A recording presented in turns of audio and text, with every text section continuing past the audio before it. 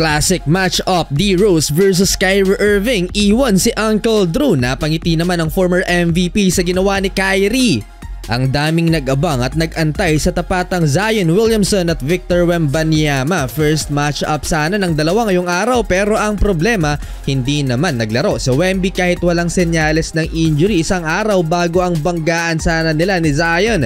Base sa report mga idol nagka-problema daw sa balakang si Wembanyama ito ang first missed game ni Wemby sa kanyang NBA career. Sinasabi ng ilang fans na natakot daw si Wemby kay Zion. Dito na lang tayo Grizzlies versus Dallas Mavericks. Wala si Luka Doncic dahil ipinanganak na ang kapatid ni Devin Booker, ang magiging panganay na babae ni Luka Doncic. Well, congrats Luka Magic, battle of the best two guards ng 2010s era ng NBA. Derrick Rose versus Kyrie Irving. Simula ng first quarter, iniwan ni D. Rose ang depensa ni Kyrie. First field goal ng former MVP para sa Grizzlies. Solid din ang pressure niya kay Kyrie Irving at almost turnover pa sa play na to ang Mavs superstar score. Alat ni Uncle Drew sa first half, dami pa naman din sanang baong galaw nitong si Kyrie pero kinukuyog siya sa ilalim.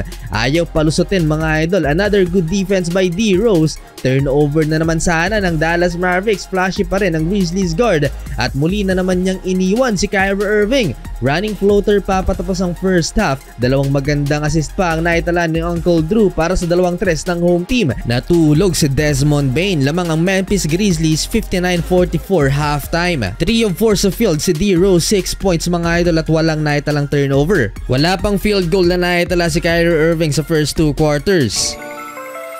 Third quarter, mas naging exciting pa ang match-up ni Kyrie Irving at Derrick Rose. Napangiti na lang si D. Rose sa drive na to ni Uncle Drew at nakapag-draw ng foul si Kyrie. Eto naman driving baseline Irving, ganda ng depensa naman ni D. Rose pero nakalusot pa ang pasa ni Kyrie.